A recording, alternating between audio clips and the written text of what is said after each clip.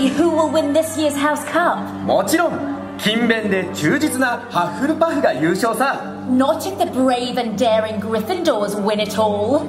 いやいやハッフルパフが優勝だどの寮にも優勝するチャンスはあるわもちろん賢いレイブンクローにもね Cunning Slytherin will be finishing first. Slytherin just got awarded 20 points. Of course, we're the only choice to win.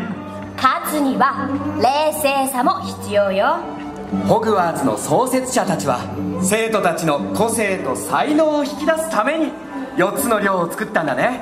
I guess all of our houses have powerful talents and strengths. Yes we all have a chance to win the cup don't we?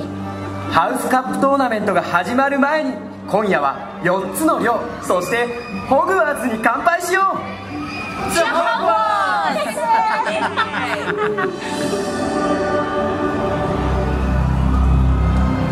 私はホグワーツの組分け帽子私に見えないことなどない。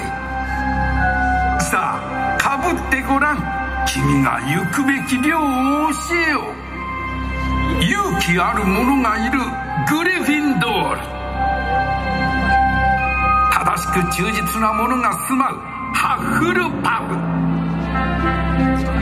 または意欲ある者が行く古き賢きレイブンクロー。目的達成のためには手段もいとわない狡猾なスリザリン。